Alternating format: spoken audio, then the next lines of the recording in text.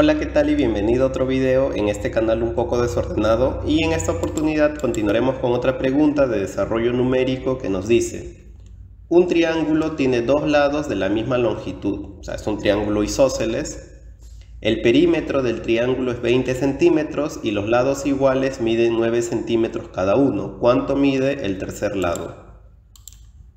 Bueno, en este caso el, dato, ¿no? Eh, bueno, sí, sí, es, sí es importante que nos hayan dicho que dos lados son iguales, ¿no? Bien, tenemos que el perímetro, según nos dicen el perímetro vale 20 centímetros. Y sabemos que el perímetro es la suma de las longitudes de los tres lados. Y nos dicen que los dos lados iguales miden 9 centímetros cada uno. Entonces sería 9 centímetros más 9 centímetros más x.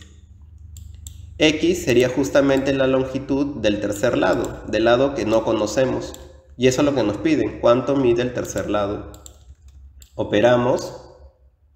9 más 9, 18 Restamos en ambos lados 18, aquí se eliminaría y aquí quedaría menos 18 centímetros.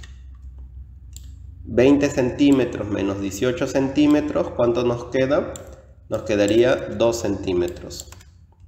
Y ese sería entonces el lado, ¿no? Esa sería entonces la longitud del tercer lado. Nada más. Esa sería nuestra respuesta. Bien, espero que la pregunta y el video se hayan entendido, que sigas visitando el canal, que sigas encontrando más videos de tu preferencia. Nos vemos en una próxima oportunidad. Chao, chao.